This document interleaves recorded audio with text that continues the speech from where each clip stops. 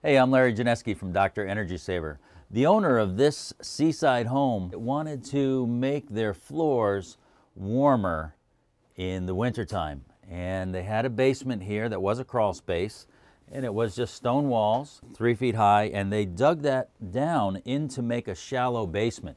You can see the headroom is still only six feet. They don't want to finish the basement or anything, but the uh, basement was cold. And so they called us to solve this problem for them. And what we decided to do was spray foam the basement ceiling and leave this basement as unconditioned space. Considered other options and making the basement conditioned space and so forth, but with all the, there's a crawl space and there's various uh, detail to the walls, and so by the time we would insulate the walls and so forth, we decided to just make the air boundary and thermal boundary on the bottom of the house the basement ceiling.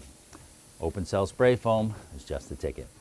All right, well, we're all done. This foam will now uh, isolate the upstairs from the basement and provide a beautiful uh, thermal boundary between the basement and the house and make the floors upstairs much warmer, saving that homeowner money in fuel bills and making the house much more comfortable. If you have a house that you'd like to make more comfortable, you'd like to lower your energy bills, call Dr. Energy Saver.